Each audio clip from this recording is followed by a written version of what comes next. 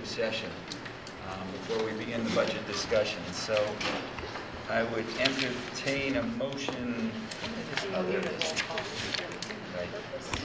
Uh, Go into executive session, discuss strategy with respect to collective bargaining and to rec- reconvene in open session.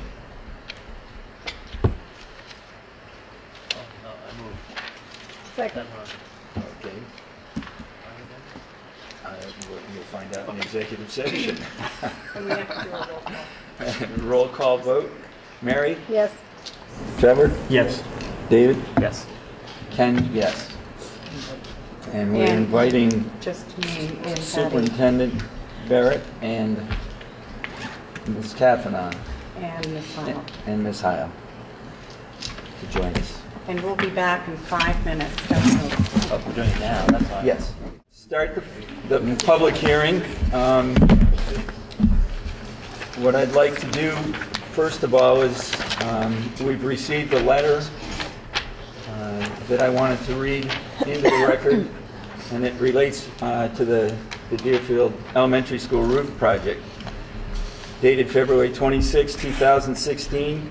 Dear Chair and members of the Board of Selectmen, Bement School, Deerfield Academy, Eagle Brook School, and Historic Deerfield met recently to discuss how we could support the town in providing a new roof for Deerfield Elementary School.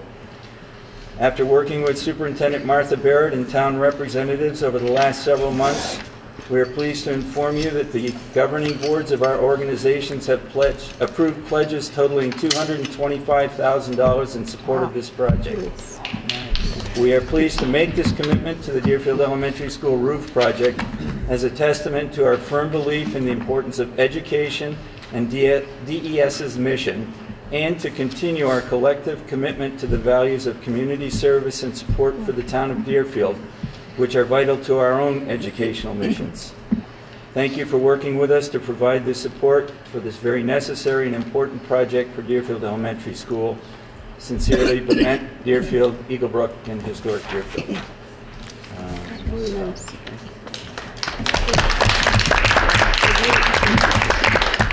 I realize it comes a little, a little late for yesterday's vote, but fortunately it was not needed, needed, I guess, but um, it's uh, Very nice. certainly Their good. support is Very good very welcomed and appreciated, and I would like to thank Mr. Cuddeback for um, getting this conversation off the ground. Um, It was very um, heartwarming, I guess, to have met with all of the private school people uh, a number of times to make this happen. So I'd like to thank Ken for spearheading this project. So, um, So, with that, we can, um, we don't have a formal public comment session just yet, but maybe what we can do is turn things over to Patty, and then at the conclusion of that, her presentation, we'll open for questions from the floor and from the, the committee, and uh, proceed in that manner. If there's a comment that is going to be made, it can be made at that point in time, so. Actually, I'm going to Or- interject I'm before. sorry. That's okay, it's not a problem. Superintendent Barrett? Um, You have uh, copies of the uh, draft three of the budget um, before you. And I'm I'm not going to reread the superintendent's message, but I just wanted to kind of highlight some of the, of the bullets that were discussed there. Some of the things that we had talked about in previous years um, had to do with, with cutting of staff. And as I've said in the past, I'm very aware of, of uh, how that can affect morale. And so one of the goals this year was to be very cognizant of that, um, maintain our class sizes, address the um, slowly shrinking enrollment, but not to be cutting staff. So that was that was our overall arching goal. We had some challenges in that our health insurance we had an increase for the first time in five years of 6.8 percent, And we also know that in previous years, not just in Deerfield's budget, but in other towns, sometimes we had to reduce the bottom line by throwing school choice dollars on it. And we're very careful about doing that because we've always wanted to spend a year in arrears. We didn't want to spend it as we got it. So those were some of the challenges. What we wanted to maintain was the efforts that we have put forth with district technology. Um, we were very pleased that school committee had supported the pilot for this year for professional development. I think that has been one of the uh, strongest points for this year. Yes, we have some refinements to that, but it is an area that I'm very proud of, and I hope that will continue in some form or fashion next year. so, those are just some of the areas that we touched upon. We are always acutely aware of the other needs and demands of town services uh, within not only in Deerfield but, but the other towns. So um, I'm going to turn it over to Patty to go over some of the details. Uh, budgets are often moving targets, and we go through many variations before we actually get to town meeting. So Patty, if you want to talk about summary of changes? Sure. So if you look at um, page four of 24, this is our summary of changes, and this explains how we get from our last year's budget to this year's budget. So even though um, right now we do not have a negotiated collective bargaining agreement with our teachers and our IAs, we still give them their steps, and that will add $50,964 to the budget.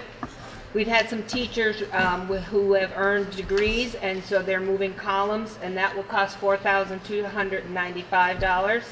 Oh, the other way was better. Um, we do also have teachers requesting longevity, which will add sixty-five hundred dollars.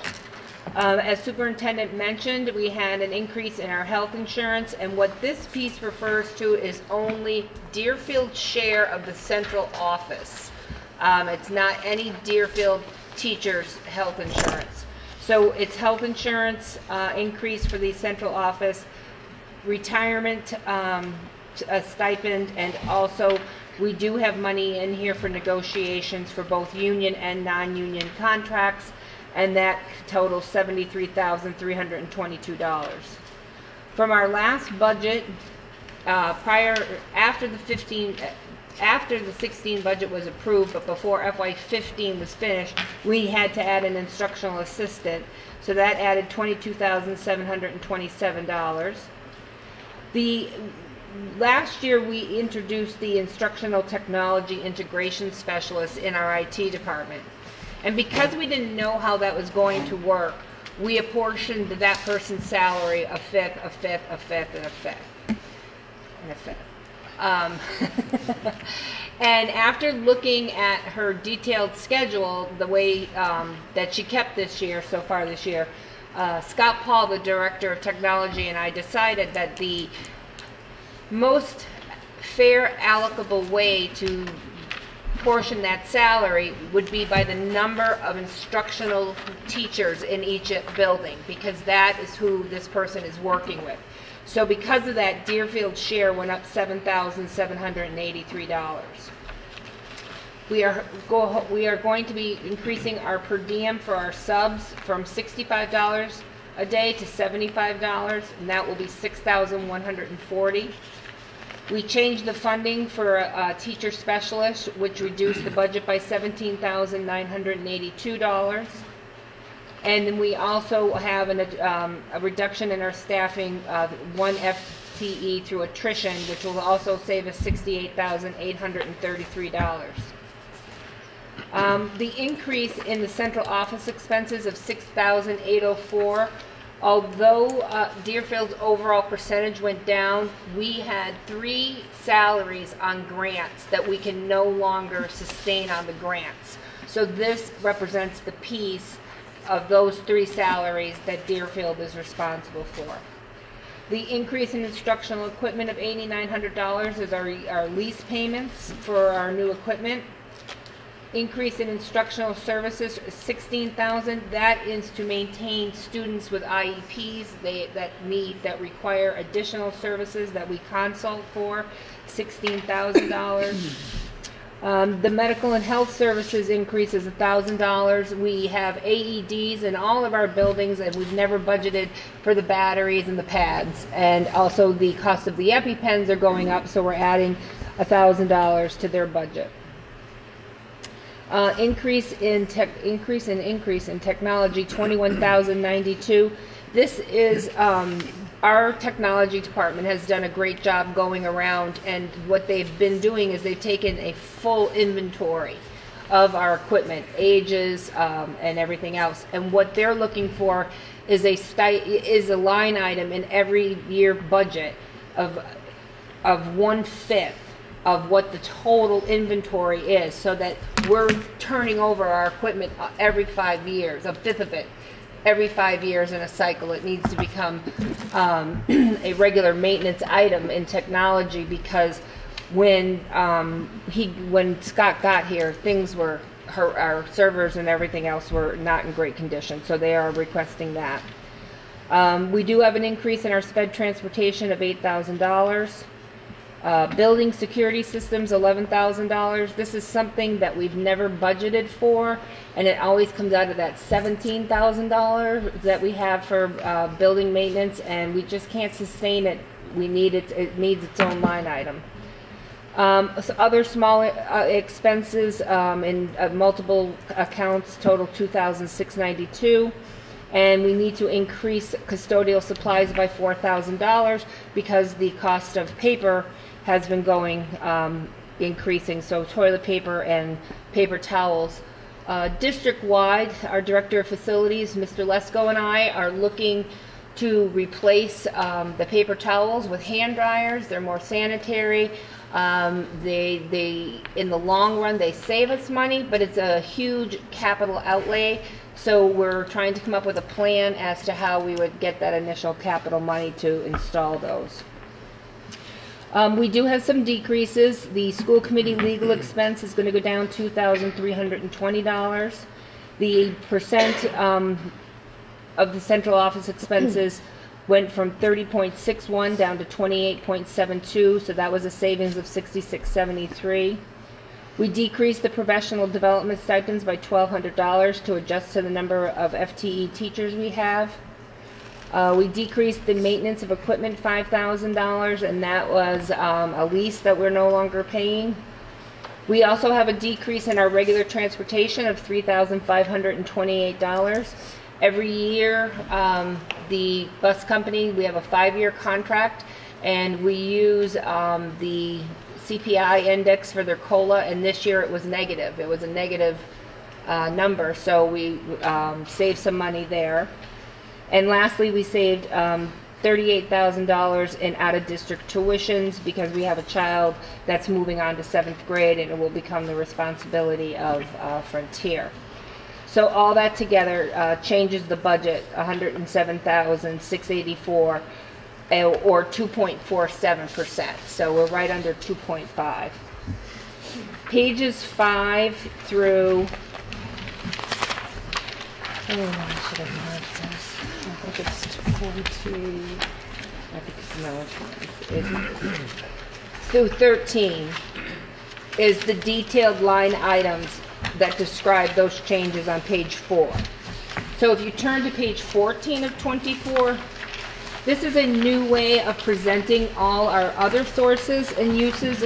Um, before, we would just put it in like a- a category of administration or instruction. And this year, we're breaking it out so that you can see the total cost of each line item. Um, so as you can see, starting with the FY17 proposed would be the town appropriation, our use of school choice money. EC is early childhood, uh, the tuitions. SPED revolving, we have a uh, special education program that we tuition some children in. Our Title I allocation and our SPED uh, 94 142 allocations. So you can look through the line items, but if you go to the last page of that, which is page 22 of 24, you will see that the, the total expenditures by Deerfield Elementary for FY seventeen will be five million, four hundred and twenty-six dollars, two hundred and twenty dollars. Of that, the town would fund eighty-two point thirty-six percent. The school choice would provide eleven point two eight percent. The early childhood tuition's three point six nine percent. The tuition um, for our special education, 0.83, Title I, 0.66, and our, our 94, 142 grant, 1.17%. So this is just a, it's the source and use that you're used to seeing. We just did it in a byline um, format this year for you to see. Um, page 23 is where we are with our school choice. And um, I'm happy to say we're not in the shape that we thought we were going to be. So the first column shows you what we projected. We, we thought we were going to be in 16, and we thought we were going to end the year with a negative $13,000. But as you can see, our beginning balance was lower, a lower negative number, um, and our revenue jumped up. And the reason that the revenue jumped up so high in June is that there was a reporting error. We have two children that school choice to Deerfield, but they attend another district school for a special program, and they were listed on their school choice at, with their sped increment on the December, which is what on the December enrollment, which is what we use to predict our income for the following year. And when the numbers were corrected in June, instead of getting 587, we got 725, 299. And down below, we um, use six thousand eighty-nine dollars for to keep the lunch program out of the negative. We purchased the cafeteria tables for sixteen thousand five thirty-six. Um, the early childhood playground equipment, five thousand dollars.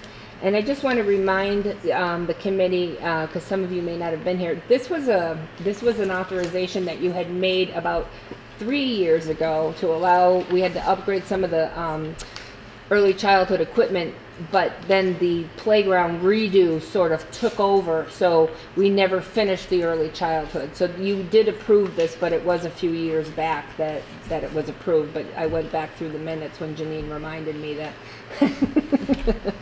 So, um, and then your five thousand dollar funding for the arts partnership, and the staffing is, was, is five seventy-four, two sixty-four. So we're gonna end this year with about ninety-one thousand, seven hundred and thirty-seven dollars. So if you look at the projected seventeen, that becomes our beginning balance. Our December numbers say that we should be getting about six hundred and fourteen thousand, five hundred and eleven dollars. I'm estimating we may need another seven thousand dollars again this year um, for the deficit in the lunch program, but I'll know more next month where we, we truly stand with that. Um, five thousand dollars uh, again to support the arts partnership, and the staff would be six hundred and twelve thousand two fifty six for a total expenditure of six twenty four two fifty six, which would leave us a balance in the account of eighty one thousand nine hundred and ninety two dollars. And that is what we usually use for our contingencies, for move-ins that might have um, is already in place with services. It's nice that we have a little bit of money there that for things that might pop up during the year.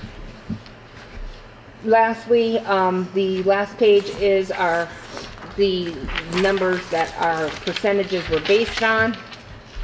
Those are finalized as of October 1st. And that is draft three of the Deerfield Elementary School budget.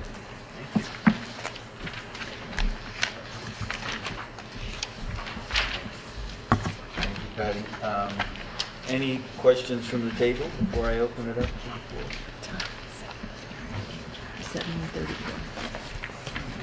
What's that? Um, I have a question. Okay, go ahead. Have later do if you want. Um, I have one arm up, and, uh, Yeah, I'll get into it later. okay. Do you like?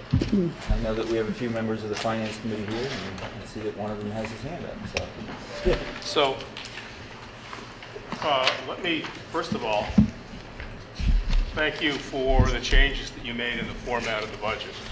Uh, It's it's understandable, I can read it, and- and I do appreciate it. And uh, in addition to that, I was, as of this time last night, I was a little bit fearful that we might show up here today talking about a vote that may have gone the wrong way. And that hasn't happened, so congratulations uh, to the uh, uh, debt service override. Um, So, and after that, I'm not going to say anything. It's unusual. Seriously? Wow. Until John speaks. Some- Somebody check him. Did you eliminate one of the classes like you did last year as the kids are getting older, go from like three to two? There is a reduction of one, One class? yes. Okay. Another question. How much do you pay for water every year? How much do we what? Water, H2O. I know you got 1,200 budgeted, so I'm curious about what you spent last year for water.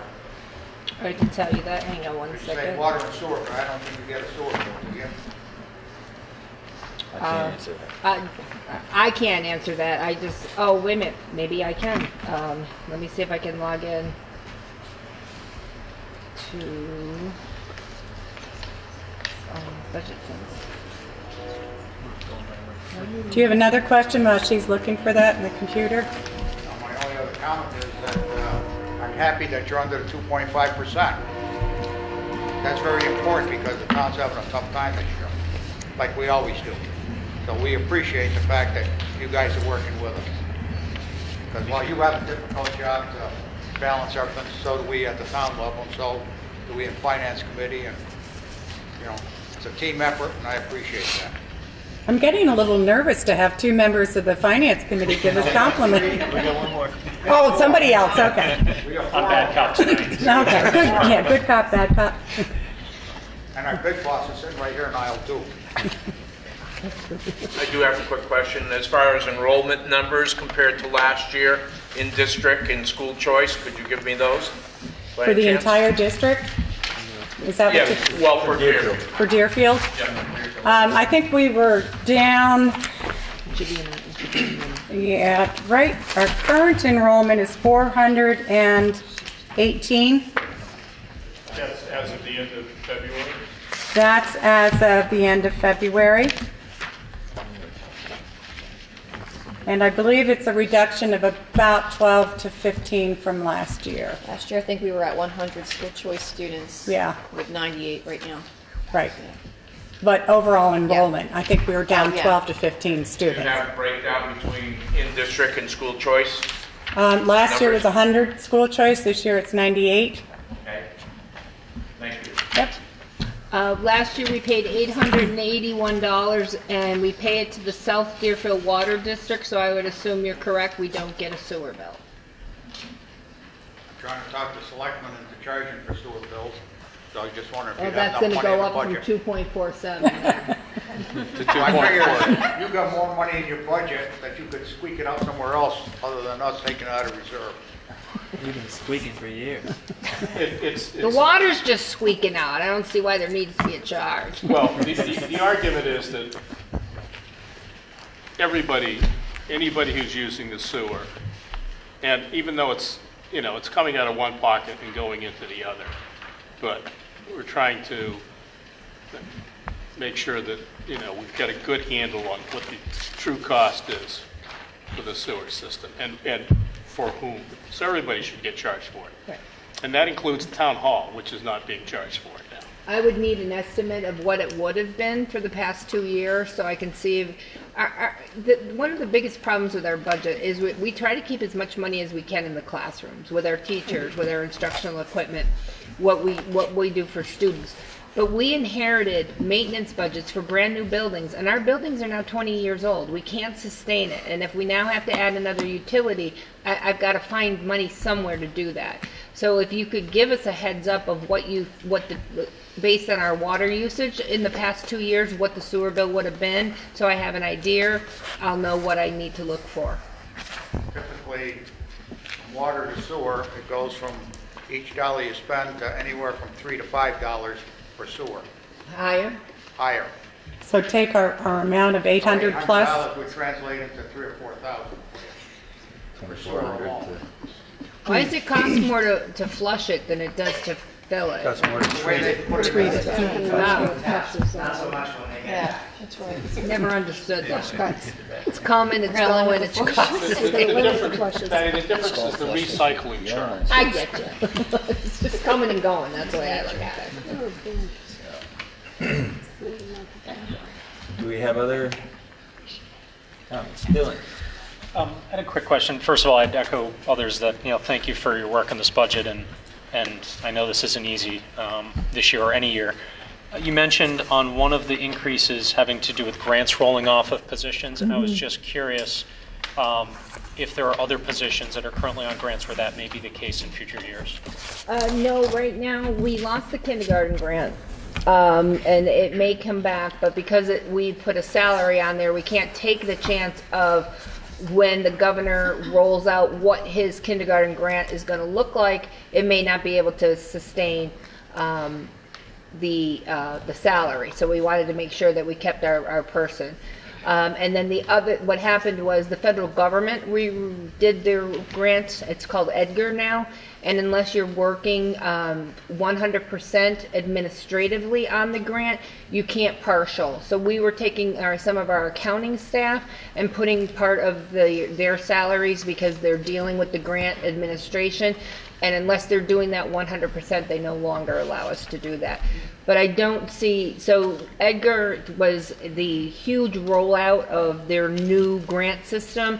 So I don't foresee them s- s- making any other changes within, they do it every seven to 10 years. So, um, and then I still think, are we still waiting for the new Title One? I still, that's the only other thing. I don't think that there's been a new Title One, and we're overdue, I believe, for that.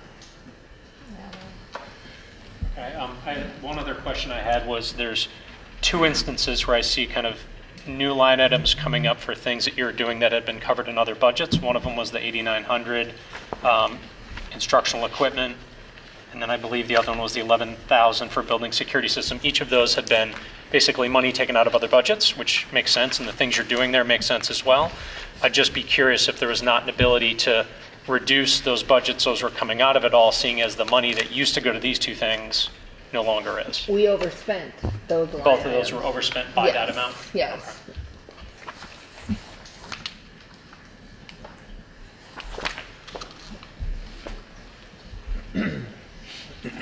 I think next year, um, Dylan, to answer your question, because of the way our, ga- we had to purchase our gas this year, um, based on, well, I should, I would hope next year we'll have a better sense, but of course this was a mild winter, so based on the days. We usually go purchase gas through a large um, consortium through Lower Pioneer Valley Educational Collaborative.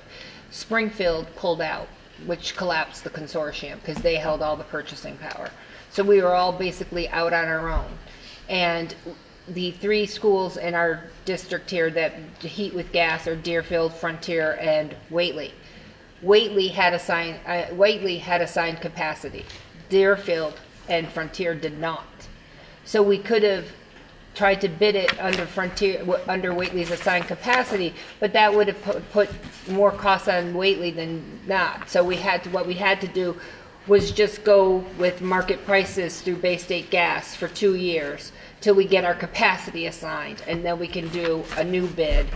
Um, so once this, I get an idea of what the market price rather than the fixed price is gonna cost us this year, we may be able to take some money from that utility line next year to cover these new building security costs.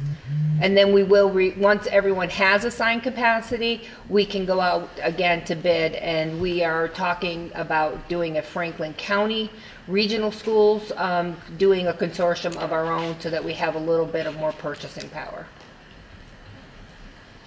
One more question, if I may.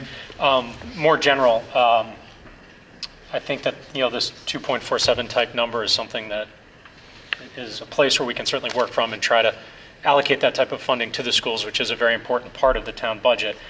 Um, Obviously, part of the way in which we're able to get there this year is through the reduction in staffing. If we get to a year, whether it's next year or four years from now, where we're not having the reduction in class sizes, how do you guys feel about being able to get to a 2.5% type budget in that environment?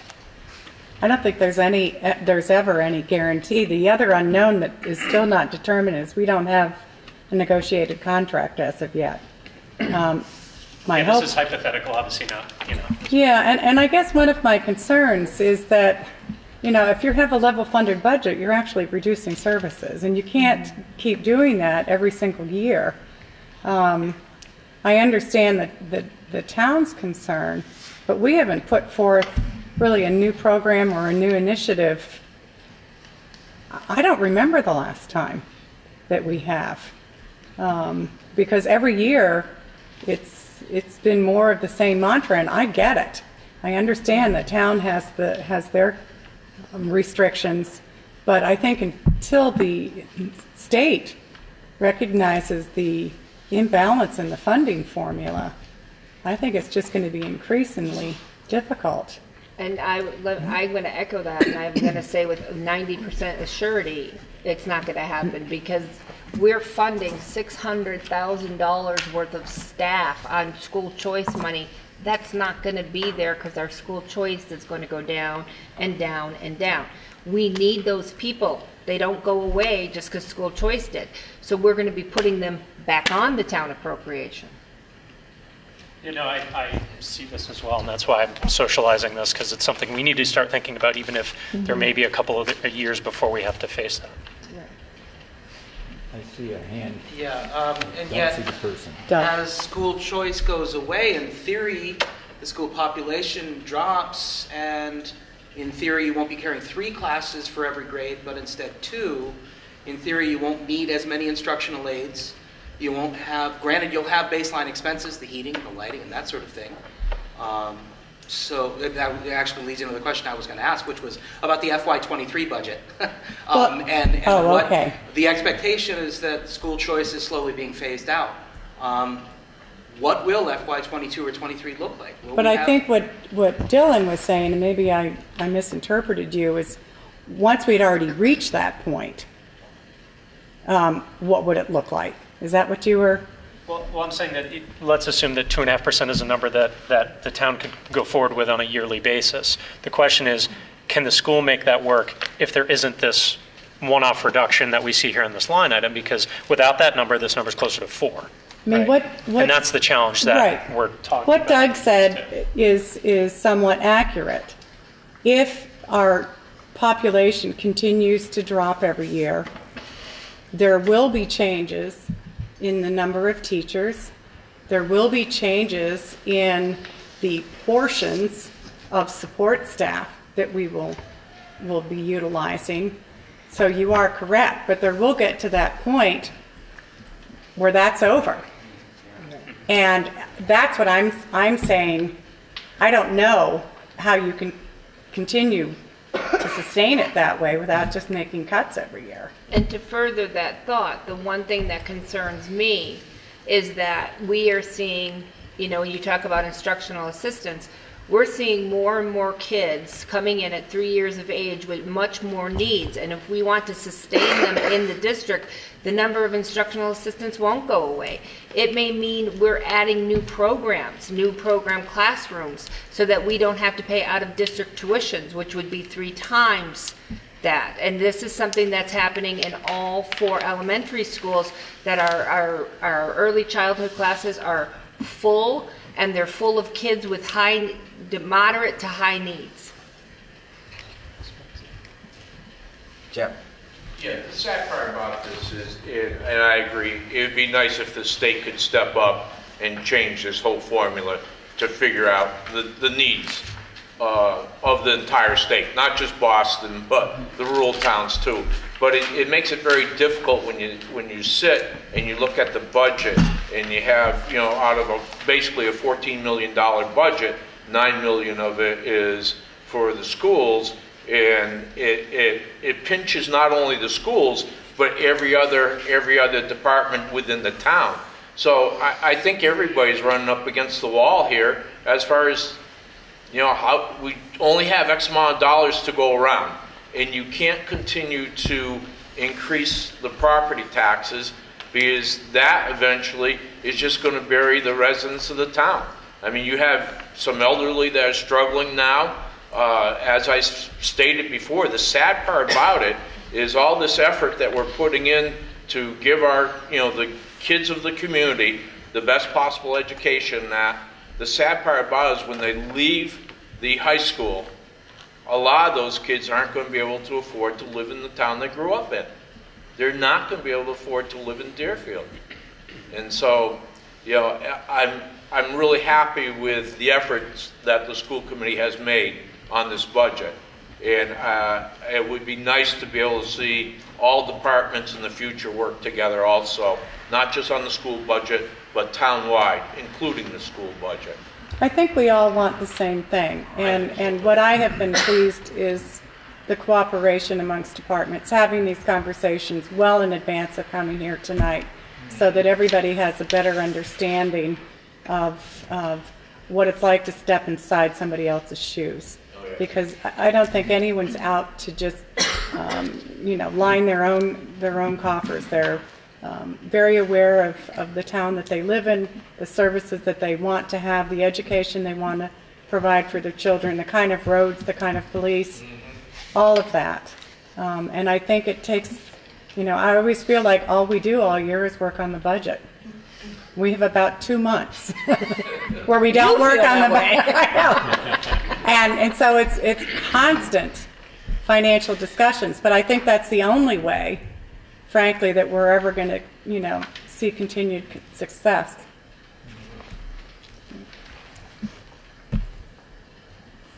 And I, I certainly appreciate having you thank the school committee, but it's really the school administration that comes up with the budget. We, we get to ask the same types of hard questions that you folks usually ask in the, uh, at this time of year. And, um, but it's the administration who has worked so hard to bring this budget in at the, at the level it's at.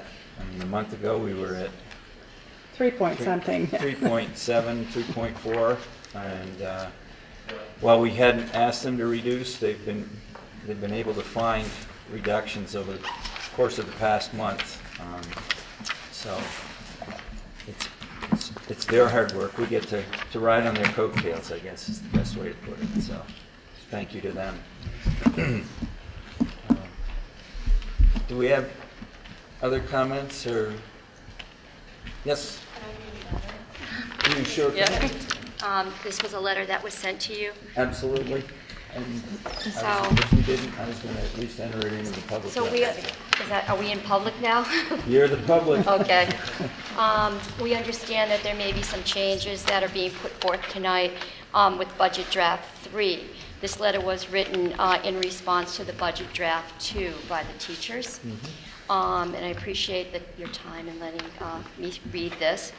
Um, Some of the points that are going to be made in this letter may no longer be relevant um, with the changes that you're going to be putting forth this evening. However, a lot of time and effort was put into crafting this letter, and we feel that it's important to honor the process and the the people that worked on it, if that's okay. Certainly. Do you mind telling the camera who you are? Yes. Hi, my name is Susan Boraski, and I'm an occupational therapist here at Deerfield Elementary School. Thank you, Susan. Okay. Um, Dear school committee members, administration, and Deerfield community, we, the teachers at Deerfield Elementary School, appreciate the opportunity to view and discuss the potential budget for our upcoming school year. We have met as teachers to review the 2016-2017 school budget. We are invested in helping to shape a school that runs efficiently and fairly for our students and our staff.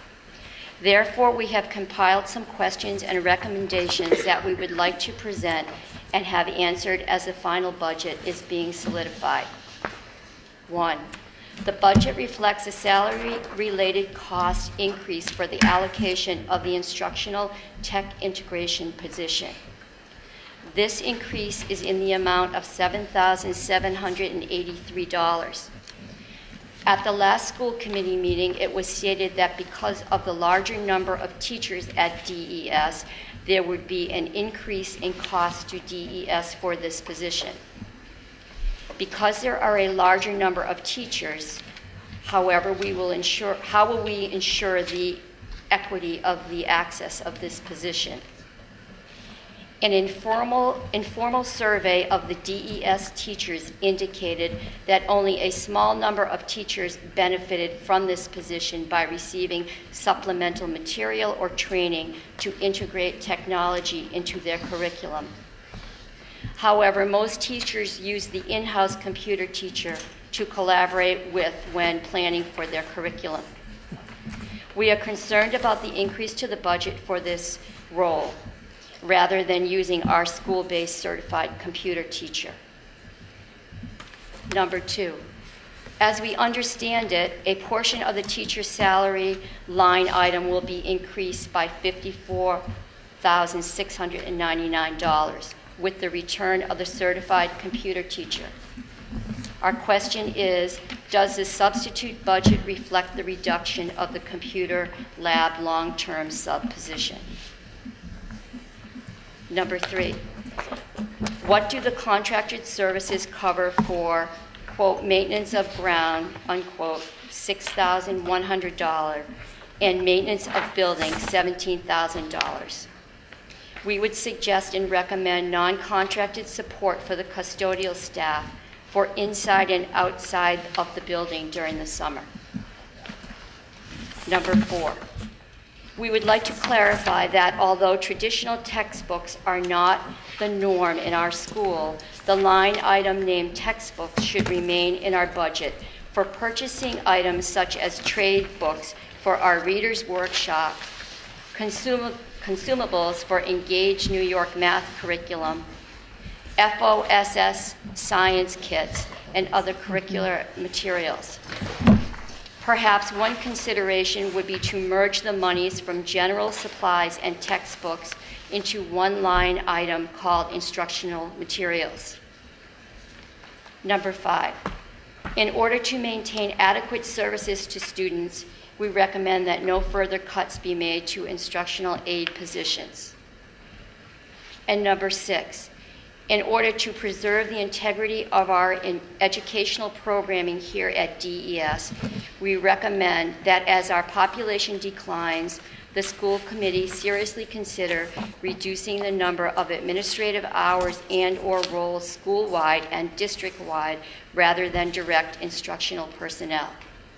We thank you for your time and consideration, the teachers of Deerfield Elementary School.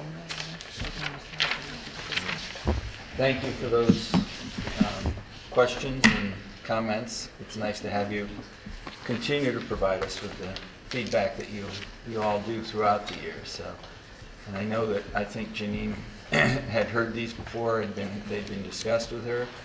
You know, the administration's had a chance, and, and you're absolutely right. Some of those questions have been answered and, and changed in this latest draft, so I don't know if you, do Patty you have wants the to letter and I can sort of go Sure. through them? Um, what- uh, I can answer what I can.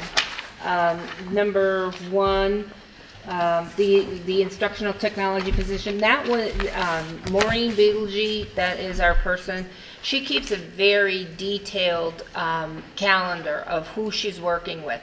And it's not always one-on-one time with teachers, it's also, we're, we looking at the overall prep time she does for preparing professional developments too. That has to be added in. Um, so this, last year, smaller schools had a big problem paying nine thousand dollars um, and not having as many teachers. Um, and right now, it, it, Deerfield is actually getting the most time for Maureen Beetlejuice's uh, schedule, and I, that's why we decided to, to do it based on number of instructional teachers. Is somebody you said to split with five schools, so Frontier is split in there too? Yes. So presumably Frontier's portion also went up? Yes. Because they also have Yes. significantly more teachers? Yeah. Yeah. Um, the portion of the teacher's salary will increase by 54 with the return of the certified. Does the substitute budget reflect the reduction? The, the substitute wasn't in the substitute budget. We kept part of um, the teacher's line item. We just reduced it because the first year we were hiring a long-term sub. And because of the duties that we had this person doing grading, we turned it into, uh, instead of a day-to-day sub, uh, we, we hired them for a one year only and they got a first year's teacher's pay. So then the difference was the first year's teacher's pay back up to the person who's returning. Part of that salary, when we made the adjustment from long-term sub to teacher, that money had to go to the um, school choice budget because it wasn't in the town appropriation. So with this teacher returning, I put all the money back in to the town appropriation. In order to reduce that budget, the entire salary is now back on school choice. So there is, it never affected our substitute line whatsoever. It stayed in the line item. Um, The contracted services for maintenance of grounds, $6,100. We do not have the equipment here to mow the lawn. We don't have mowers, we don't have weed whackers, we do not have the equipment. So what we, what we are doing, instead of do- going out with, to, to a uh, private landscaper, is we have Frontier staff take care of the grounds here, and we charge only the hourly rate of the Frontier custodians, which is the most, um, cost-efficient way to do it. Uh, If you guys want to go out there and pick up the leaves, fine, we can save some money. Um, The textbooks line, uh, what you're describing that you need is instructional materials. That is how the state wants them classified. To them, textbooks is the, this is the English textbook, this is the science textbook. What you guys are looking at are more what they consider instructional materials. So we're going to see a shift from the traditional textbook line to more to instructional materials and educational software, instructional software line. Um, It's not that we're going to delete that money from the budget, it's going to be reallocated as we start getting away from those textbooks. It'll, we'll move the money into instructional materials and into instructional softwares when we get away from those, those traditional textbooks. Um, The next question, um, there are no instructional aids being reduced in this budget. And I can't talk to uh, administrative hours or roles school-wide, district-wide, or instructional personnel. That's not my role.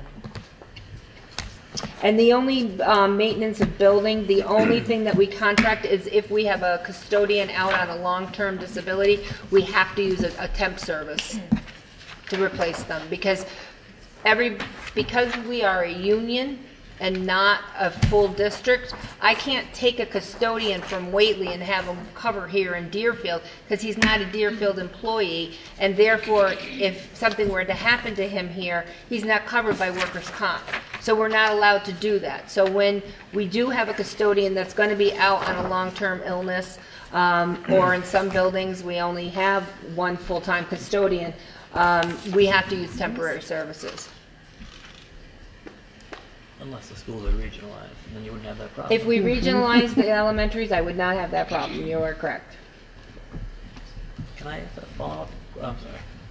I just wanted to follow up on the custodial piece. Um, We used to have, and and I understand why, you know, budget cuts and all of that, but we used to have um, additional staff hired for the summer to do some, um, either assist with some of the basic projects so that the custodians could do some deeper cleaning. And I think that's some of what is being talked about here. Mhm. Um, Because that's a concern that's been shared. So you want the students to Um, work in this, well, this summer is gonna be very different because we're gonna have the roof project. So there's gonna be probably no one in the building this summer. Yeah, we come in every year. So does the question revolve around the condition of, or the ability to, to provide the deep cleaning that traditionally happens in the summer months? Is that what the, I'm, I'm just trying to see if we can get exactly what the concern is on the custodial side. Um, I think what I was hearing was yes, that, and some of the additional, I, I don't know the details, but some of the additional projects um, and upkeep, like weed whacking and such, that our custodians, um, and shoveling and things like that. I, I, I know that there's a, some services that come from the outside for some of the snow removal and things like that, but The town does the snow, re- the town does the snow removal for the parking lots, and they don't charge us for that. Our custodians are responsible for the sidewalks. And they do do that. But come spring, we ha, we didn't want to go out and hire a private landscaper to come in and mow and, and, and rake. So we have the Frontier staff do it. Go ahead. Can I ask sort of a philosophical question about central office stuff? Um, most of the central office expenses are distributed amongst the four elementary schools and That's correct. Frontier. Correct. Based on some kind of formula, right? Right, that's the last page of your packet. Right, and it, and it's pretty much all lumped out. I mean, all those costs are lumped mm-hmm, out by mm-hmm. formula, right? Yes. Okay. So I guess I'm just throwing out a little bit on that issue of the tech person. It sounds like that person was just sort of not part of the formula, and that's why there's a change made because now it's been right because before Right. you did it on E, right? Right. Okay. And so I was just yeah, just because we have to be. I think we should be careful about the arguments about usage that I'm hearing being asked. Um, if you start down that road, you're going to have a school district that's getting schools that are sort of potentially pitting each other against each other, saying so and so, for instance, secondary or your elementary curriculum director is not spending enough time, and I mean, just throwing this example, maybe an absurd example, example, but uh, not spending as much time in our school, and so we shouldn't pay as much for it. Right. Okay, so, and those formulas are pretty, um, I mean. They're they're- enrollment they're- based, they're and I enrollment-based, think and they're important to stick to because I don't want to get into well, those. that's what I'm saying. That's right. what I'm saying. So it seems like this came up because it was just sort of mistakenly the person, because it, whatever, it was just in the budget in a very even way when it should have been part of the central Because it was the first, y- it was the first year, and we Right. didn't know what it was gonna look like. Right. So we said, let's just charge it equally until we see how it's gonna fall out. And originally, don't forget, um, not every town voted To to have approve this. this. So when we started the year, Conway had not wanted any part of it. As the year went on, early on, they realized that they were missing out and that their students were not getting the same access and instruction. You mean the school committee didn't want that as part of They didn't budget? think that it was necessary. And so originally, it was parceled between Frontier, Deerfield, Whately, and Sunderland. Then Conway came on board at some point. And again, because we didn't know what the actual usage, instead of saying, using the percentage formula, we just did it, we're going to divide it up this way. In actuality, that was not how it was really used. You have twice as many students here as Conway and uh, Whately. So in theory, you should be paying more. But you're absolutely right. I don't want to get into that saying, well, because eight teachers in Deerfield want Maureen here now, and she can't go to Whately for a week, which is fine. Sometimes it happens that way. That suddenly Whately should pay less. So that's why now the funding formula is in place. And I think we have to stick with that with these shared services. So are there any um, central office expenses that are not, that are not apportioned out in the ratios? Yeah. There are. The, the, only the ones that are identifiable. Such To our internet service. It's six hundred and thirty-one dollars per building. So Okay. we know it's per Okay. building.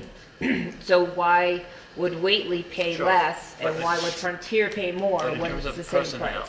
if I could just Oh, limit it to personnel. Is it safe to say central office is pretty much? If, if except they're maybe- all elementary, then Frontier wouldn't be charged and Charged. vice versa. Okay. That's the only difference. Yeah. So we have a five, a, a five percentage breakout and a four percentage breakout. That's it. Okay. All right.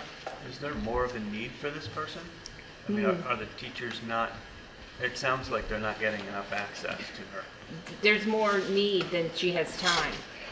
So would there be, um, not that we're looking to add stuff, but in the future, I mean, since technology seems to be more of a, um, a need, and is it something we're looking at to add another position at some point in the future, or change roles somewhere Yeah. so that they can get more I, access? I think it's been most disjointed in Deerfield, I'll be honest with you, because your technology teacher has been on leave for two years. You've had two different people in that position for the last two years. Where the other schools, they've had the same media technology specialist who's been working with Maureen. And that's where the teachers would normally go to Right. that person. And there's not been that this continuity, and so they work together. You have not had that in Deerfield, so it's really hard to predict what it's going to be like. I think what I heard them say tonight, and you guys correct me if I'm wrong, is that in the past, you did not use your media, your technology teacher in the way that you are currently using Maureen. No? I, The other way around. the other way around? Okay. Um, So I, I don't know that we can predict what that's going to look like. But I wonder if part of it's the, the point that you brought up. I don't know how long our current, um, and I was going to ask, uh, the in-house computer teacher has been with us for, how long? Mark Talk Nolan. about Mark, Mark who's Nolan. on leave right now? No, not the one on leave, the one that's here this year. This is actually the- the third the- person, because we had Maureen in that position last Three year. Yeah. people in two years. Yeah. And that may be part of the, I mean, could be part of the issue or part of the problem in, in the uh, perception of how things are working and, and the reality of how things are working. Ho- Hopefully with Mark back, we'll, we'll find that resolved. We won't know until next year, I guess. So. So Yes. I didn't answer your question. No, I think, I think so. I mean, I just, I just, with technology changing and being such a, you know, I I assume even in three years, it's changed in how you use the person and all. I just want to make sure that they have access to somebody um, for their needs, you know, as much as they, I mean, I know it's like, we'd love to have four people there ready for Right. it, but it's a budget issue too, so I just want to make sure that we're, we're looking at that down the road too. I think it's to be determined and to be assessed. Right, okay. I- One second, John. I saw a hand back there, and then I'll get to you, because I wasn't going to let you get away. I was, I have a question from the summary of changes page. Would you be willing to illuminate for me the change of funding for the teacher specialist line? The 17,000? Is that- Right, that's the money that, that I was left in the budget when Mark took his leave for the substitute. So now I'm just pushing that over to match the other part of the salary, so that it's all in one place. Because as I explained, we originally left some substitute money in Mark's line. If that makes it easier, I, I don't like using people's names, but if it makes it easier, I didn't put it in the substitute line, I put it in Mark's line. And then we decided we can't pay her sixty-five dollars a day, because she's gonna have grading responsibilities. So we switched it to the full-time teacher. Well, I didn't have that in Mark's line, so I had to put that in the, the school choice budget. So with Mark coming back, I was taking the two pieces and putting them back in the budget. But then the, the percentage was high, so now I've taken all of Mark and put them back into school choice. It's like a, you know, it's like putting a puzzle together. I feel like I'm on Survivor sometimes, you know, with the puzzle pieces. Thank you. Mr. Chief. Whatever, it's all good. Uh, When would be a good time to talk about the school resource officer? Um, I think we could talk about the school resource officer now, and that way you can explain for those that are in the audience and uh, that will be viewing this, uh, exactly what the school resource of- officer, who, who he is, what he does, and how he's funded, and what your thoughts are moving forward. Does that Sure. make sense? So by brief introduction, I think most know me. My name is John Paciorek. I'm the chief of police for Deerfield. And when I came back here about three and a half years ago, one of the first things I did was walk through the schools. And you can call Sturbridge, you can call any teacher or the principal, any staff member there. I walked through the schools every single week as a cop. The kids knew me on a first name basis. And I was a little taken back when I took the position here as chief because when I walked into the schools, I saw looks on kids' faces of, why is he here? And that didn't sit well with me. I ultimately want to make sure that the children from preschool all the way up through grade 12 understand the police department is here to assist them. We're not here to criminally investigate them. So, by establishing a true partnership and a school resource officer, it puts an able body in the school to develop that rapport with kids, to work with the staff, and come up with a creative environment. Um, my constant goal with the administration of all five schools in Deerfield is I do not criminally charge any kid without the school's consent. So, most realize that we do have five schools in town, and it's a challenge for me every day because I don't have just the 400 kids or 450 at Deerfield Elementary. I have the over 600 at Frontier, as Marty does, over 660 at Deerfield Academy. However, Bement's floating right now, as well as Eaglebrook. My year fluctuates from 2,100 to 2,500 kids at any point in time in Deerfield. So there's a vast variety uh, of situations that come into play here. Number one is about the well being of the kids, that visibility. The second part is the safety aspect of it. There's only two of us on day shift in Deerfield. There's myself, I act as a patrolman, an administrator, the boss. Granted, most times the, the biggest threat I get is a paper cut, but possibilities are there. If I'm at a meeting and I'm away or I'm at court, there's only one person covering Deerfield. We are a tourist community. And with 2,400 kids on average in the town, in schools, 5,000 residents, but a business influx on a normal day of over 7,000 additional, our service populace goes up to about 14 to 15,000 people. So my concern is always for the welfare of the children. I would like to have a true partnership with the elementary school, the high school, and work out some type of funding mechanism where we can permanently put a position into place. What I did was I solicited the town, I solicited the schools last year. Of course, the funding's always tight. We know that. We see that every single year. I've been at this 23 years. You guys have been at this 30, whatever it may be. Some maybe even longer. So last year it was tabled.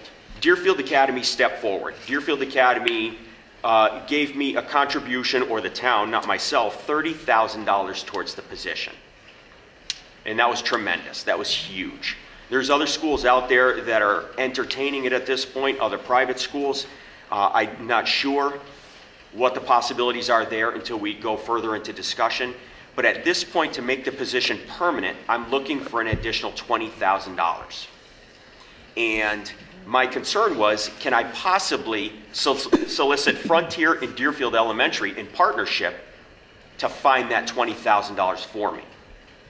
And that's a very difficult conversation for me because I know every year the school's right at the threshold. And every year the school committee's hammering back and we want to do more. I'm well aware of it. My six and eight year old are in this school, and two other teachers are sitting here and are phenomenal. But I'm also a realist. I realize that after 18 years old in grade 12, we get them for life. So if we can establish a partnership from introductory level all the way up through where the police department is known and has a true rapport with those children as they grow and become regular members of our society, it only creates a better environment for all of us. So right now we have Brian Ravish. We started him last August. I brought him in about a week, week and a half before the school actually started. I shifted him from midnights onto days. I had to acclimate his eyes for a week or so. And Brian's done a tremendous job. He's really good with the kids. Uh, he swings by all five of the schools. And our goal is just to enhance it and expand it and start safety programs. I don't want to overstep our authority. I don't want to take teaching time away from the teachers to the point where they're looking at the police department negatively. I don't want to interfere with the administrative staff. I want to create a true team where we go, okay, is there a problem? If we're forecasting a problem, how do we address it? How do we come in and do an educational seminar with the kids? And so far, I think it's worked very well. I've only been chief of police for three and a half years, but I think that we have a true partnership between the schools and the police department. So I'm looking to put a permanent body in place to facilitate that and make that happen every day so we can create that environment. And I look to your guidance. I know I'm at hour 23 and a half. I've begged for this for 18 months. I've just never come in from the school committee. I don't want to overstep my bounds. And I know your budget's tight. So I look for your guidance, I look for Patty, Marty, where to go with this. Okay, Thank you. Um, I, I, I mean, I, I had this conversation, I think yesterday with, a little bit with Dylan in a conversation that we were having, and it's, it's, it's recognized that Brian has made strides and has started what you're, what the vision that you were talking about just now. And, now it comes a matter of trying to find the resources for it, so. um, It's, it's kind of the eleventh hour for Mhm. this budget. Um, But What would you do, John, if you don't get the balance of the funding? What, what is Plan B? Plan B is to utilize the money I have from Deerfield Academy to partly fund the budget. We know that a, a full-time regular police officer, top step like Brian, is about 52,000 a year. But on top of that, it's not just the 52,000, it's the benefits, as Right. all of us know as administrators. That additional 18 to 20,000 in benefits jumps, jumps us up significantly. So the 30,000 is a huge contribution. However, there is the remaining 40.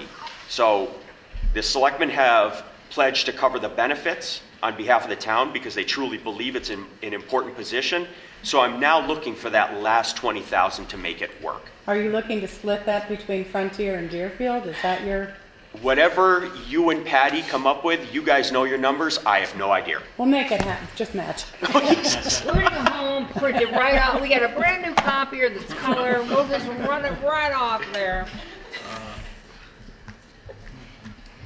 You know, when, when this had first come up as a mandate from the state two, three years ago, um, I had brought this to the Frontier School Committee, and I was concerned about it because it was lovely for the state to say that we had to do this, but they wouldn't provide any funding.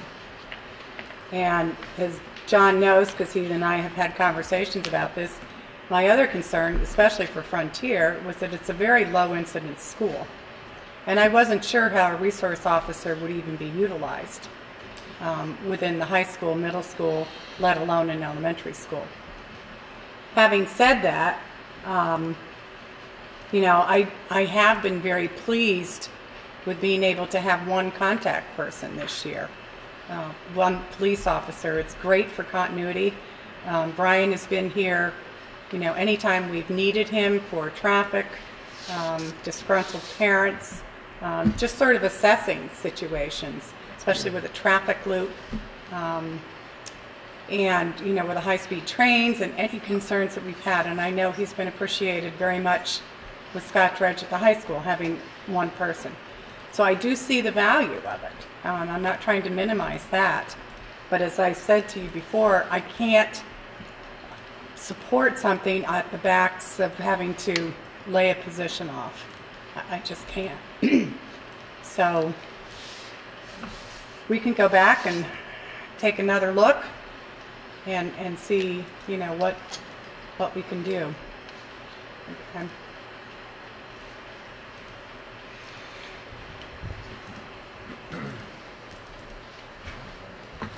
Anyone else have thoughts? Well, Thank you, John.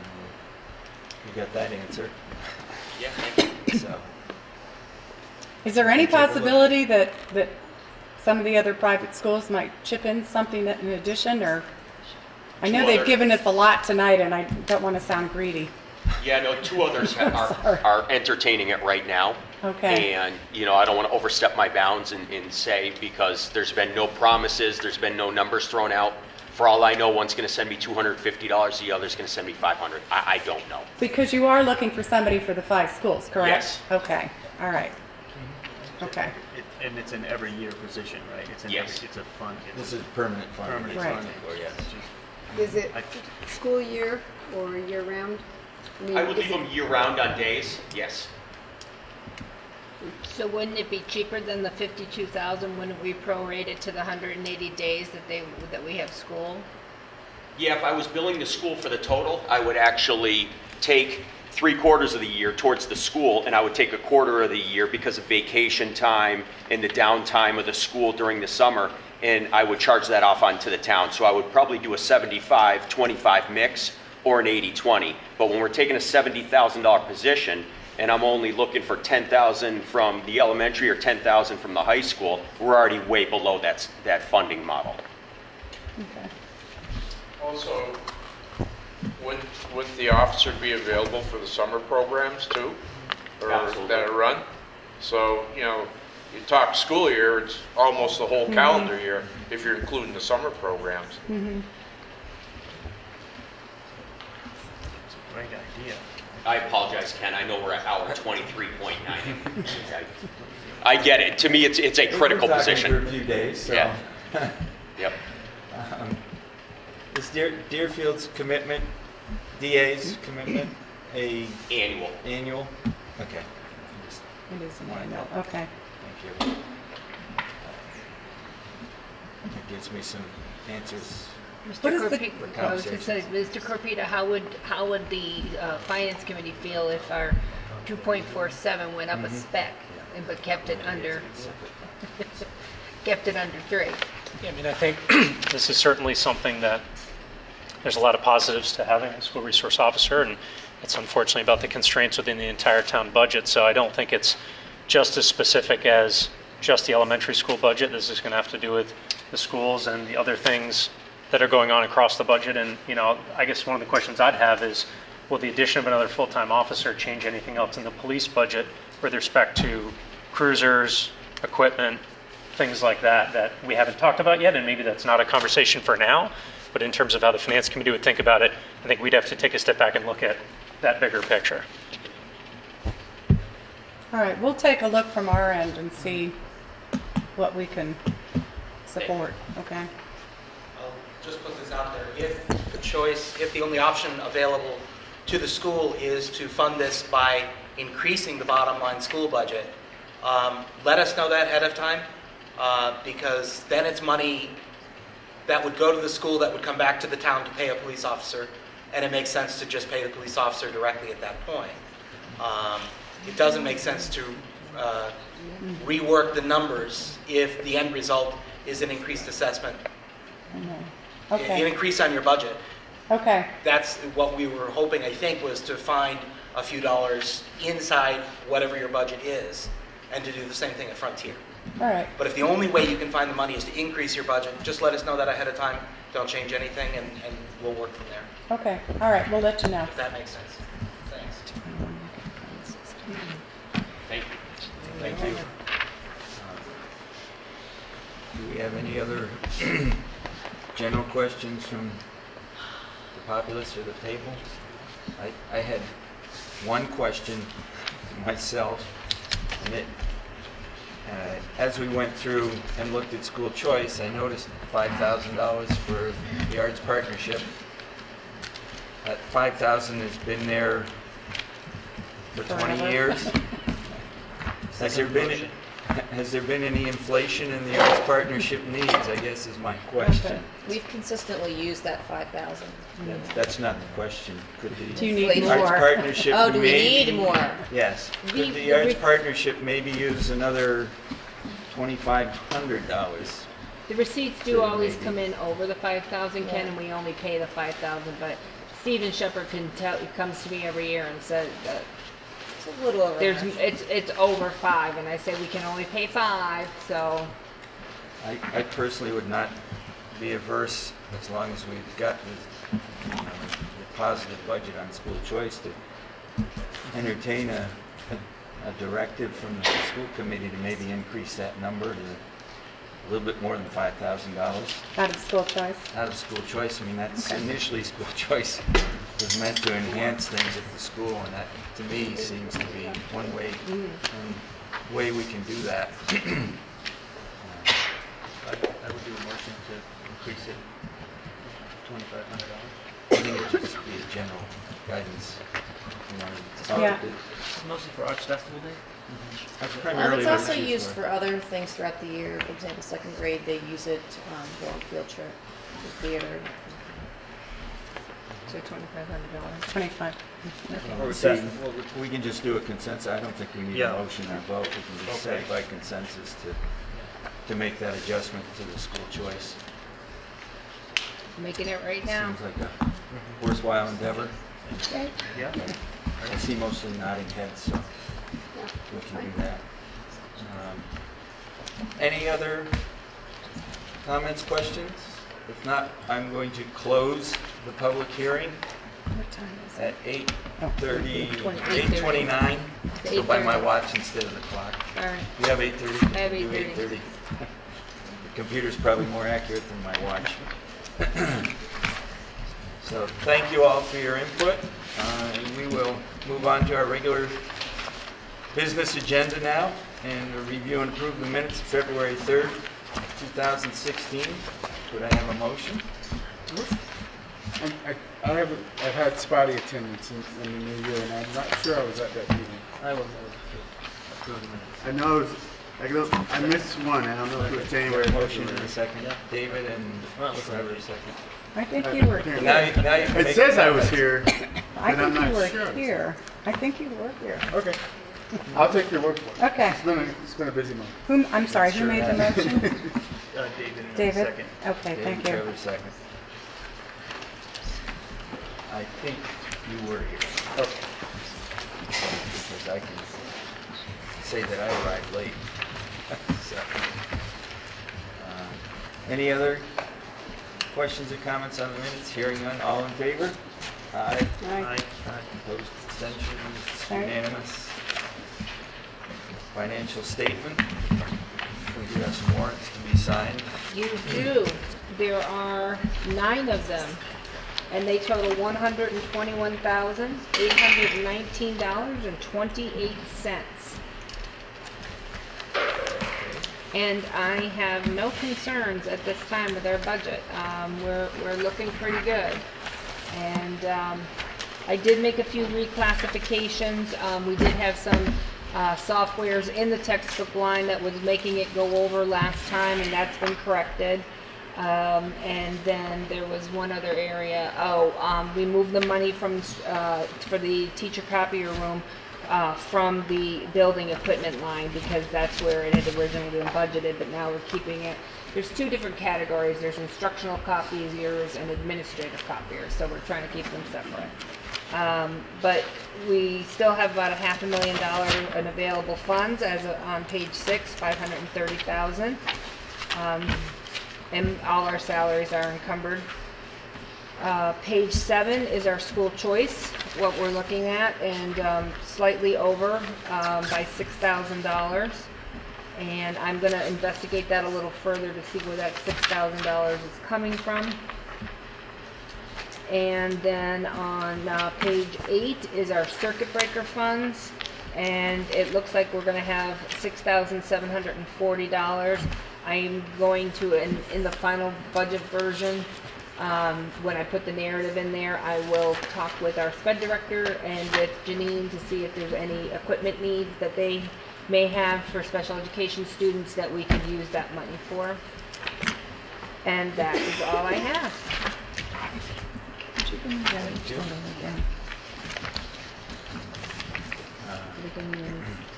Thank you. Uh,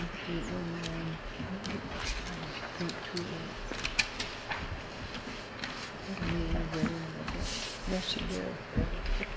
Yes, you do. Okay. Thank you, Patty. Uh, Another opportunity for public comment? And, um, I didn't see any public comment, so we will move on to unfinished business. Discussion and vote on proposed FY17 budget.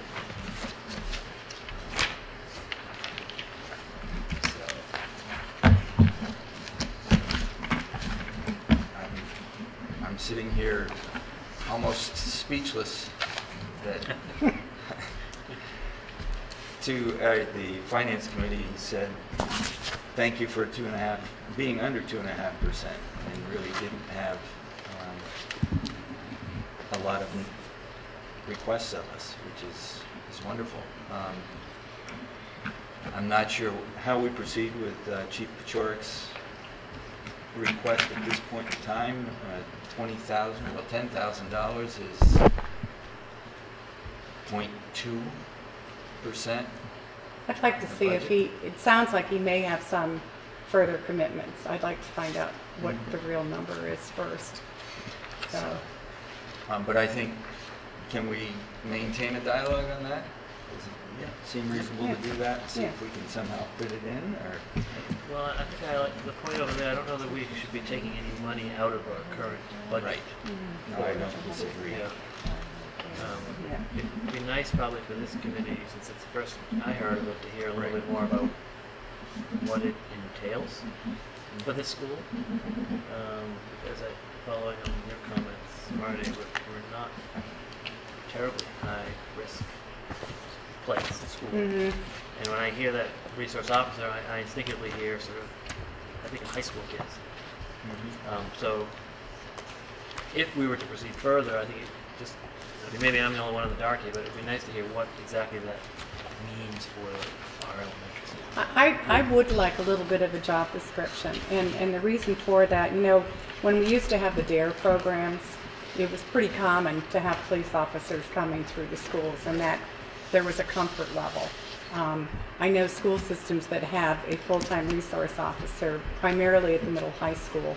Um, those officers would do things that, that I currently do, like have four-town safety meetings, coordinate, like the principals do, all the safety drills, um, kind of take away some of those, those responsibilities and duties. When you have a resource officer spread between five schools, it, it's, it's a little murky to me. Um, like I said, Brian was always here whenever we needed him.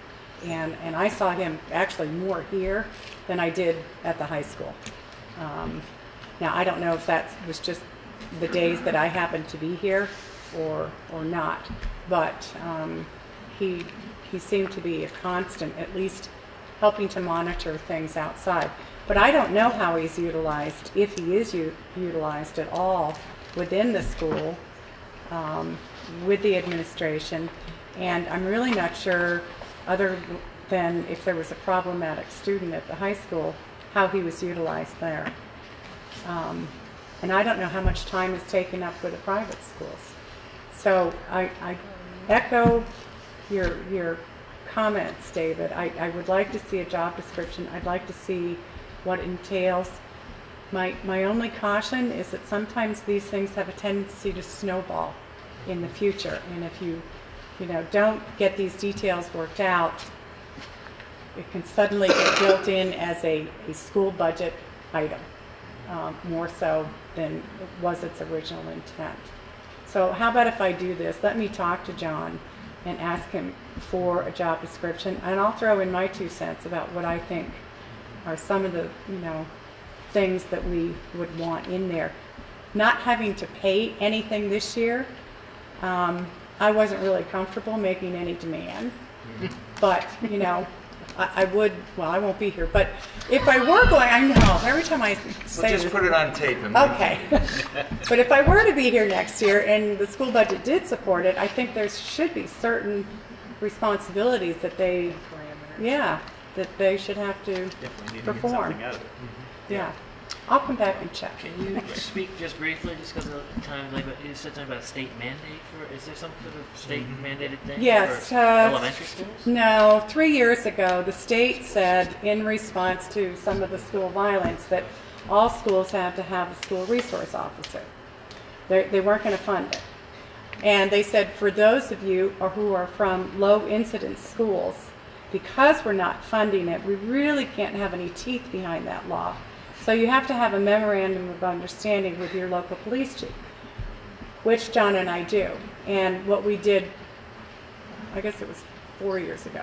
What we did for the first year was um, we had one person who was kind of our dedicated police officer at the high school. And whenever possible, he agreed to send that person if there was a problem. So that, that isn't one of the mandates. And the state has been incredibly silent on that issue ever since then because they don't have any money. So they really can't tell us that we have to do it, and it was only at the high school level.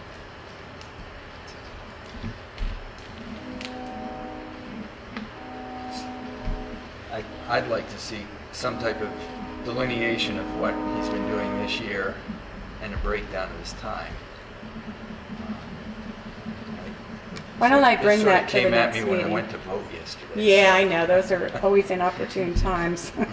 So I really haven't had a chance to sit and contemplate it too much. Um, But yes, if we can get it done, yes. So I was a teacher back in the time when we had day officers, and it might be helpful to hear input from the staff too about if we had a resource officer, what that might look like at different, I know we invited them in to talk to us about some of the um, social networking and some of the problems with that. Right.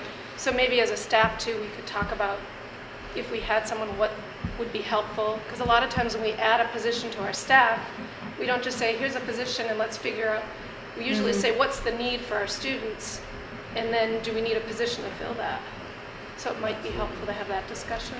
And I'm wondering, I think DARE was funded by grants. Are there grants available to fund something like this? No, no, which is why there's no longer any there. And I think that gave, it helped build kind of that relationship among our police officers and kids so that it wasn't a scary thing, but Right. a Right. community Well, thing. And I think that's a good, That's what John was saying. right. Um, And, and I can say, you know, from the pers- perspective of the, this, the institution that I work at, our kids, when they see a police officer on campus, they think lockdown drill. Mm -hmm. I mean, and that's, that's really not, that's not the, the relationship you want students to have with the police officers in town. You want them to, you know, be able to go up to them and talk to them. So I, I get, I mean, I had, as I said, the conversation yesterday, I've had a couple other conversations in the past 24 hours on it and, and, and get, get where he's coming from. So I, it, it would be wonderful if somehow all of the institutions in town could somehow figure out a way to make it work, so. Great, so, um, anything else on the budget, or do we, do we want to proceed to a vote? Move that we approve the budget as presented with the additional arts partnership funding. Second. A motion and a second. Any further discussion? Hearing none? All in favor? Aye. Great, thank you. It's unanimous. Thank you, uh, all of you for that much tremendous work on the budget. To have the pleasant surprise to be under 2.5 percent is is better. I took minutes saying all select, or finance committee complimented. Um, uh, sorry. There you go. It will be reflected. Um, uh, Discussion item B, update on the roof project. Yay!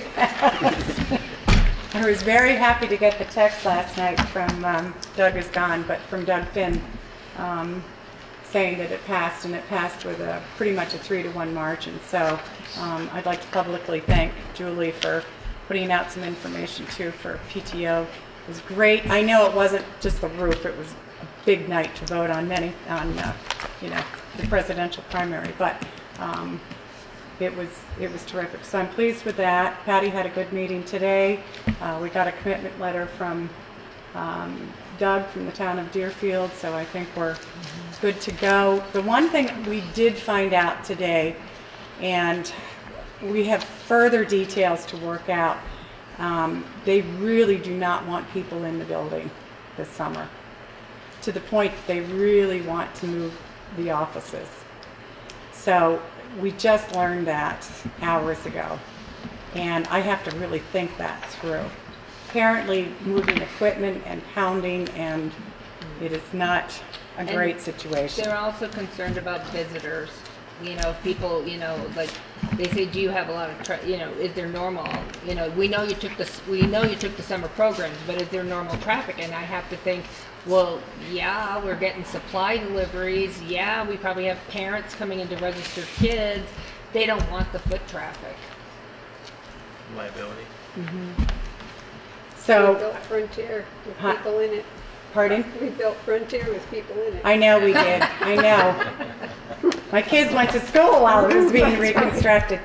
So I Any need. number of high schools. Yeah. And schools in the I, area. I need further information because that just sounds pretty unreasonable to me. The contractors. But do we have a contractor yet? No. The architects, it's, it's gonna be in the specs. That, that would have to be out. I know, but within this building, there's multiple entrances that can avoid. And that's what, construction. what I have thought, that Good there's going to be working at a section at a time. I don't understand, so that's why I, you know, I'm mentioning it because they mentioned it today, that we really need further information um, for it. Because I, I just cannot envision setting up a satellite site. Well, my concern would be the deliveries, because my Right. deliveries are on a daily basis. And then, so I was even talking to Patty earlier, if you rented a pod or something and had the deliveries go there, how much time do you have to start checking them in, getting them out? Kathy's really on their, in there on her own, doing it as the summer goes. I personally worked in the building, um, in my other district, we were, our offices were in the junior high when the roof was, and there were like three days that were gonna be just horrendous. And we just all took vacation days on those three days. And I think we can, because it, Mary is absolutely right. The high school was rebuilt with kids in it. Yeah. I mean, we didn't go to another site. So, um. And I've so been we in would buildings like where to they've been it. constructed Yeah. and expanded, Yeah. and we just relocated within the building. Right, and that's what I think you're gonna. they're right over your roof. Yeah, and that's a little Right. easier to manage. So we'll have a further conversation with our, our designer on that issue. Otherwise, everything is proceeding along. We are on schedule. Our building inspector has the ninety percent docs today. He will have his commentary back to us on Friday. The uh, hundred percent docs will be going to um, the bid docs, of the online bid docs on three nine for quality control, and will hopefully be published three eleven. We will be out to bid on March eleventh. Congratulations. Thank you. Thank you Thanks for your work. for the work on this. You're welcome. It's my pleasure. All she talked about in the elevator. Well, if you had anything to add to the conversation, David, maybe I wouldn't have had to do all the talking. Little details keep coming out. I know. That can have a life for at least another couple of Yeah, years. that's yeah. gonna have, until something So- else replaces it. Well, why am I getting it all and not him? He's He's the sort of that brought flying it under up. the radar. Maybe because I'm the one that convinced him to get in the elevator. So, uh, reports. Collaborative? Uh, no- nothing as of yet. No, we- We're off last month. Uh, at the end of the month. Principal? Um, so you should have a copy of our report for this month. Um, just a few things that we wanted to highlight. Last, um, Monday, we had a group of about fifteen students who went on a field trip to Bernardston Elementary School. We were invited, um, mostly because our part-time PE teacher, Susan Scott, she also works at Bernardston, and she had worked to bring Team Hoyt, um, to present there. And if you don't know who Team Hoyt are, they, the- it's a father and son team, Rick and Dick, and Rick was born as a spastic quadriplegic with cerebral palsy, and he's nonverbal. And they have been doing, he's 54 years old now, and they've been doing triathlons, marathons for years. I had some numbers here 72 marathons, 13 32 Boston marathons, 257 triathlons. And they did them together as a team, where basically the father pushed him, carried him, um, swam with him in a raft, and it was a very emotional and impressive uh, presentation. And we had, I was happy to have um, students who were selected by teachers to be able to go. And um, Susan did a terrific job. So And I wanted to thank the, uh, uh, the PTA Yes. for helping to fund. they uh, did. They contributed three hundred dollars Yeah. to that event. So That's great. But it was it was a wonderful experience. So I want to thank Bernstein and PTA. for Yes. Sure. So uh, one of the things that happened last week was uh, our sixth grade, uh, Julie Webster's sixth grade class had their debates. Uh, some of the topics that they were debating on uh, do uh, performance enhancing drugs help or hurt athletic, professional athletics, um, the death penalty, pro or con. It was very impressive what our students did, how they set up their arguments and had dialogue, and uh, it, you know it's also excellent public speaking practice for our students. So it's, it's an annual event, um, as Julie Webster said, this is her last one, and she wanted to go off well, and it was very impressive. Students did a great job. They had a presence up on stage, I'll just Yeah. say that. Um, professional development, I want to give you an update on our work with Mike Anderson. I had mentioned uh, in a previous meeting he was coming and working with staff on differentiation. And we had another session with him. We have one more on March 11th. And what the emphasis has been on at the last session and then into next session, it's really been developed by the faculty and what they were looking for. So at the previous session, on the 26th, we were working on trying to create, how to create good choices for students um, within the school day. The work on, at the teacher end of it. And a lot of wonderful dialogue, teachers were bringing things that they were sharing that they've tried in the classroom, um, some of the challenges and some of the successes. And uh, it was just really very positive experience. So the final session that we'll have with Mike, um, we'll be looking on how to have students um, make good choices, which brings in a little reflection piece. So, and that has to be taught explicitly to children. Um, I've talked to Louise Law, and we're hoping to bring Mike back a few more times um, in the spring, and possibly looking at developing a leadership team to work with him. So um, I'm hoping to be able to report back on that in the coming months. So we're happy to have that, uh, the funding to do this. And of course, uh, today we had our Read Across America coordinated by Beth Schmidt, our librarian. We had guest readers go to classrooms um, to observe Dr. Seuss's birthday, but there was a lot of events school-wide that uh, supported reading. Uh, Fifth grade had their Drop Everything and Read event today. Um, and Chief Paciorek, who was here earlier, he read to Emily McDonald's third grade class. So it's, it's a great event. It celebrates reading, and the kids have a lot of fun. Um, so that, that happened today. I just want to dovetail with that. I had been asked by, by Deerfield, but Conway had asked me first. So I was up in Conway reading in the first grade, and, and they said I did such a good job, they gave me the book, that it was my reward. you did a good job, Mrs. Bear. You can keep the book. I said, love "Okay." to read. I'd love to come read to your students anytime. Oh, okay. great. I'll make a note of that. Let that know. There you go. and you know what my favorite book is? Click, Clack, Moo. Uh-huh. Kyle's that type. Okay. Thank you, Janine Greg. Uh, Superintendent's report. Sure. You have a report before you. Um, you may remember, I was so gleeful when I brought this information to you earlier. Uh, in November and December, we completed our district self-assessment for the Department of Elementary and Secondary Education, and after uploading hundreds of pages of documents, we have just been informed in the last two weeks by DESE that they will be here, don't panic, not here, um, in our district next Monday, Tuesday, and Wednesday with their audit team. Fortunately, they have decided only to audit us on curriculum and- and assessment and student services and at Frontier only. So when I said, what is the likelihood that you will come back and, and audit the elementary schools? They said, highly unlikely. So I think you're all off the hook on, on that. Um, so I will be living at Frontier uh, Monday, Tuesday, and Wednesday of next week. Hmm? On Friday, March 4th, the uh, Franklin, Hampshire, and Hampden superintendents will all be meeting with our local legislators. We had the opportunity to discuss areas that we would like further information about and areas of concern, which for me continue to be charter and choice. So we'll have Senators Downing, Gobi, Lesser, Rosenberg, and Welch.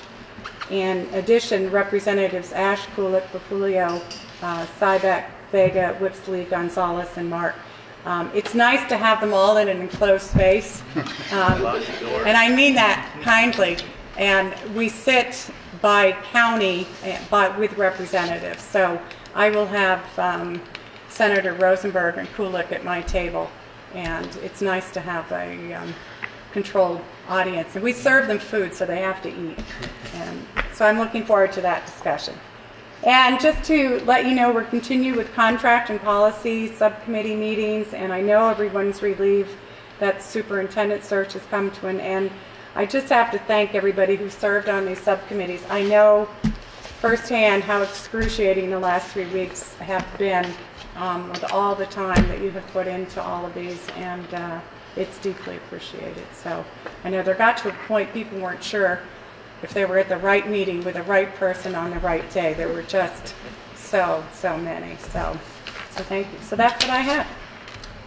Thank you. Executive session we already had. Yes, I'm down to adjournment. Well, can I stop you one second? I just need to remind two members, Mr. Isler, and I've already reminded David Sharp that your terms are up. So um, we hope that you will continue with us, with them, uh, the school committee. Um, So, just to let you know, sorry. Ac- Actually, it's a good time to announce, I don't intend to, to remain at the committee. It's always been my, um, it's always been my preference that somebody with a child in the school be on the committee, and my child's not in the school anymore. Um, she's moved on to the middle school, and she's doing well, and thank you very much for that. Um, so I'm trying to find a parent with a younger child who can, you know, this is my sixth year, Mhm. somebody who can put in a good, at least two terms or maybe more, but who's really directly connected with the school. It's amazing how much her moving basically across the street has removed me from this building. And I find that things are abstract to me now that were very, very concrete just a year ago. And so it's, it's, it's a little bit disconnected. And so I'm going to try to find a new person to, to hang in. They're going to miss us, aren't they? I can't take anymore.